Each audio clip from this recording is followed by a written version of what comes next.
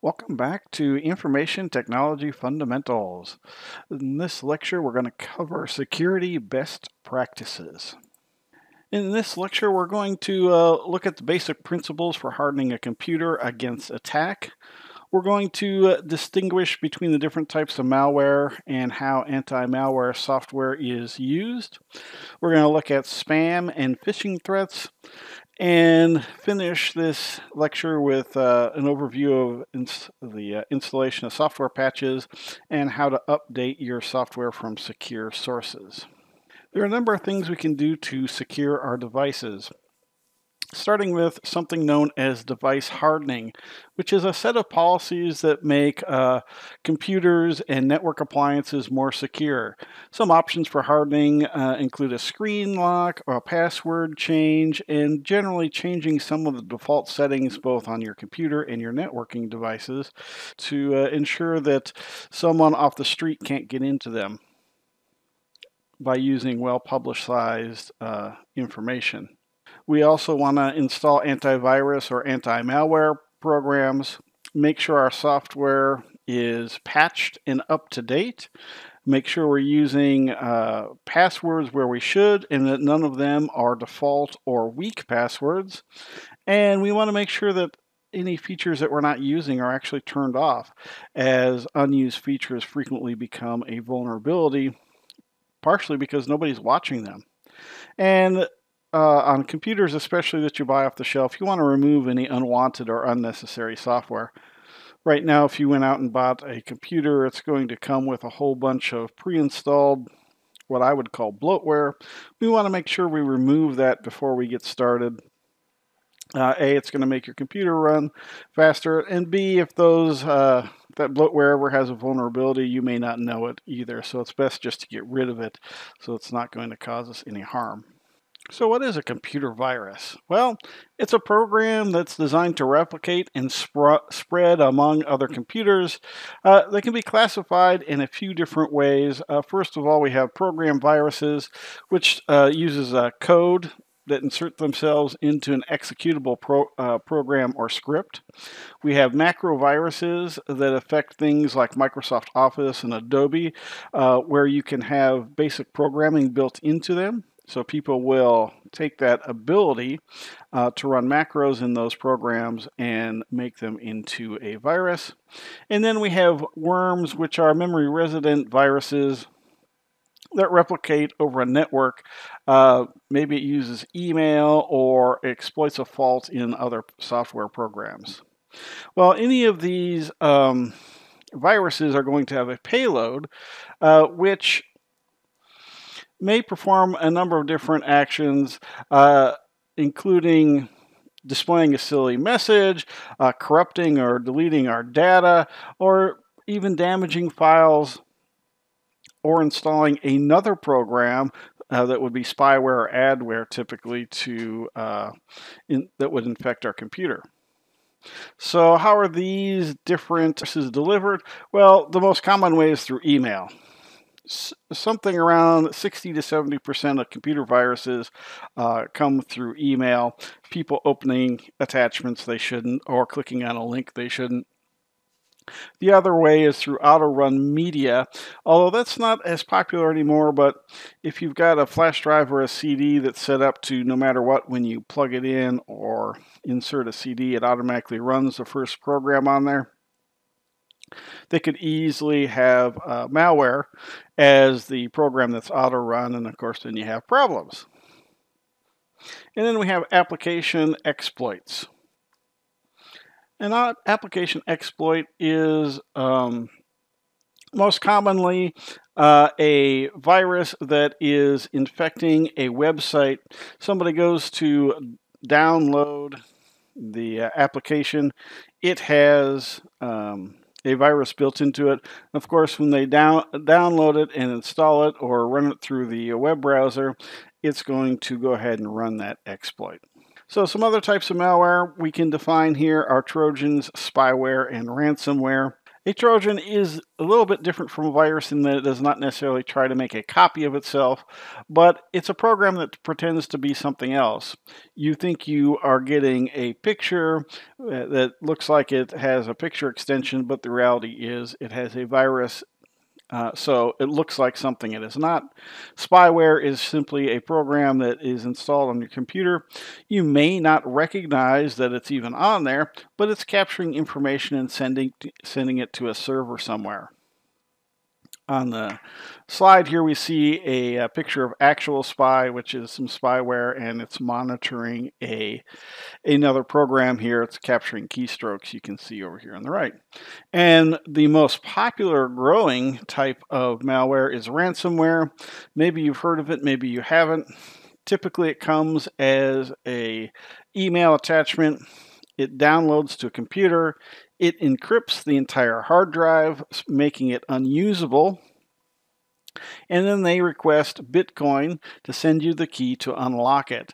Uh, entire government agencies, the city of Baltimore, Atlanta, New Orleans, and many others have been infected by this and have uh, uh, it shuts down the whole network for a period of time. So operating systems have many vulnerabilities a vulnerability is going to be defined as a design flaw that can be that can cause an application or a security system to be circumvented or that will cause the application to crash. Uh, they can usually be exploited in quite specific circumstances. Because of the complexity of modern software, it's impossible to thoroughly test every scenario before the software is rolled out and once it's rolled out, uh, bad actors go ahead and look for exploits. They frequently find them. Uh, sometimes the exploit will cause the application to crash. Sometimes it will uh, capture information or make the uh, the uh, computer vulnerable for other attacks. So patch management is the uh, best way to ensure that you have the most up-to-date software and that you're protected from known vulnerabilities. So, how do we go about preventing all these malware infections? First of all, we protect our data by regularly backing it up and making sure that the backups are secure. Second, we apply patches and updates as they roll out. We install and update security software, so make sure we're using the most current version of um, our anti malware. We scan files as they are being added to our network. We limit the amount of users that have administrative privileges on our network, and we seek to control file execution on all devices on our network. These are going to help us prevent malware infections. So, what is antivirus software? We've heard that term a lot of times, I think. People refer to it, but uh, let's go ahead and get a good definition so, antivirus software is software that can detect malware and prevent it from executing. Uh, the primary means of detecting it are by using known patterns, uh, which would be called definitions or signatures. Um, we have other types of malware that look for specific types of behavior in order to flag something as malware. The problem with the signature definitions is that only works for known software. We have to have uh, another plan to deal with software that is not known or zero day. So we look for different types of behavior. Maybe we have a large amount of data leaving our network and we want that to raise a red flag. Uh, malware and antivirus software is going to be divided into personal, stuff you use at home, and enterprise. They work uh, generally differently, a little bit differently. Personal software is really set up to divide, to um, protect one individual computer. Enterprise suites then uh, work across the whole network. All the different pieces and parts will talk to themselves, talk to each other across the network.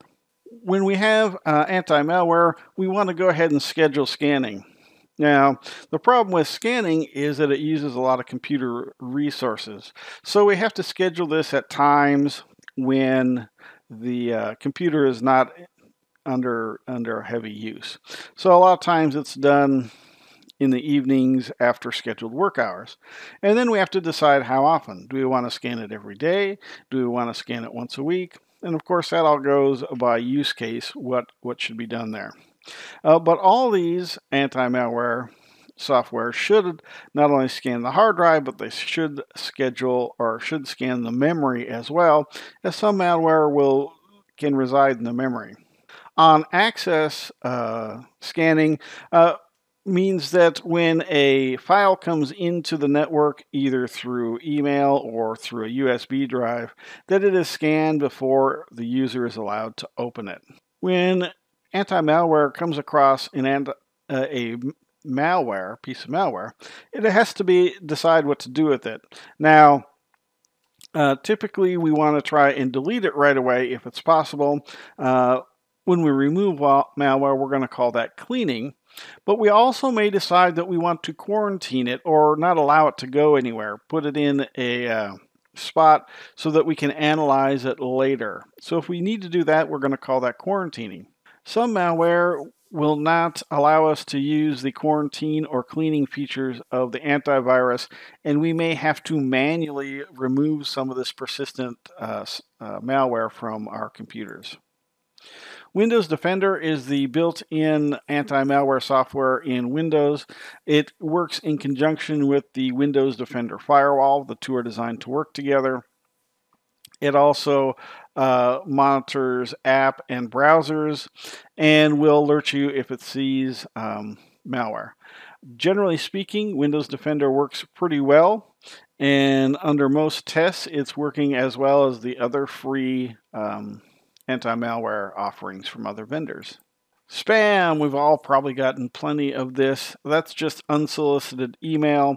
Your, your email address comes on some list, it gets sold around. People send you offers and all kinds of crazy things through email doing that.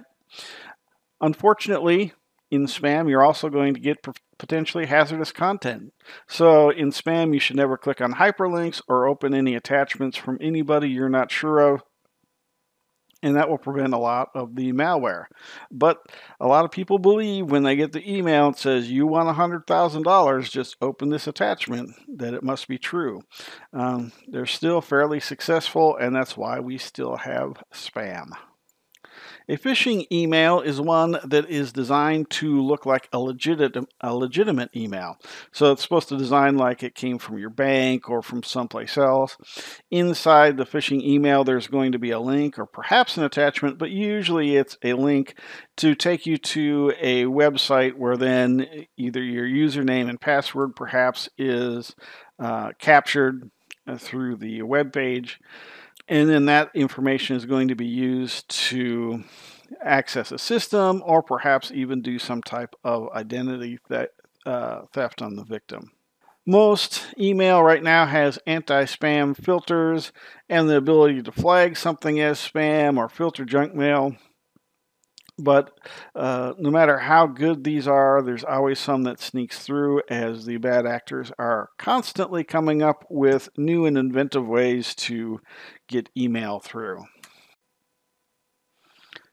Ensuring that we obtain softwares and drivers from legitimate sources is really important to securing our computer environment.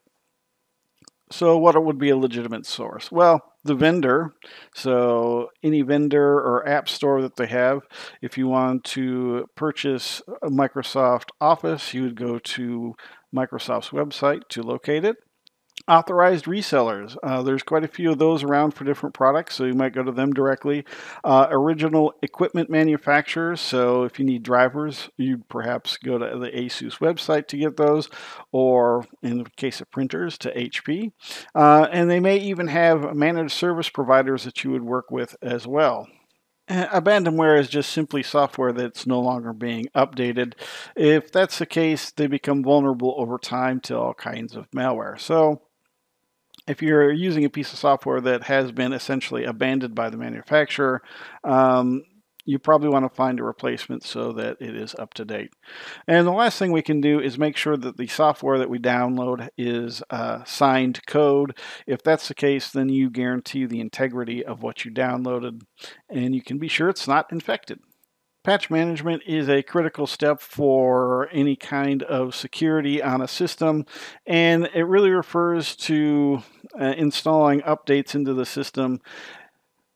If when we're talking about security, we're not so much worried about adding additional um, uh, additional features, what we want to make sure that the patches we download are fixing bugs or security vulnerability security problems, uh, vulnerabilities and exploits that have been documented.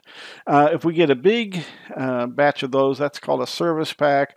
So if we look at Windows over time, uh, maybe every month they roll out uh, some type of update or to fix a bug or a security problem.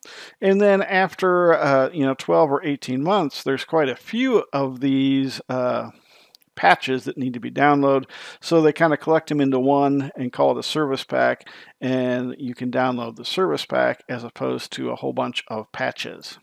Starting with Windows 10, Windows has um, uh, changed its update policy. It used to be possible in Windows 7 and before that you could essentially turn it off and only update it when you felt like it. Windows has discontinued that ability. It now automatically updates, and uh, especially when we're talking about security patches, this is really important. They had a lot of people were not updating their Windows with the newest uh, patches for security the people who were not updating ran into a lot of problems with uh, vulnerabilities and malware. So Microsoft said we're going to force users to update whether they're ready to or not. Basically, you have some ability to configure the scheduling, but after a certain amount of time, Windows 10 is going to uh, force the update onto the users we've got a few different things that Windows is going to update. It has some regularly ones that are that are daily. Twice a year, they Windows introduces new feature updates and functionalities into their software. And if you are in one of their service channels, you can get the updates uh, sooner. Uh, for a big big uh, company, that's really important because they can then have a chance to test it in a controlled environment before they roll it out to all their computers and ensure that it doesn't um, break anything in their computer environment most software that we install has regular updates. Some of them um, will let you update for free. Other companies, when they provide an update, you may have to um, uh, pay for that update. And that's going to be with applications. All antivirus products have a regular update, usually daily, on the virus definitions and or the driver for these hardware will be updated periodically. There usually is no set schedule. Usually it has to do with um, when new hardware comes out, they need to make new drivers, or if they find a vulnerability. So we looked at the basic principles for hardening computer systems against attack. We looked at the different types of malware and anti-malware software. We looked at the difference between spam and phishing and looked uh, reviewed the importance of software and patches and updates from secure sources.